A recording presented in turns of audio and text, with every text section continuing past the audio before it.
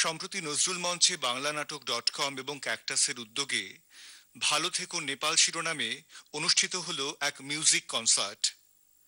ভূমিকম্প বিধ্বস্ত নেপালের মানুষের পাশে থাকার অঙ্গীকার নিয়ে এই অনুষ্ঠান।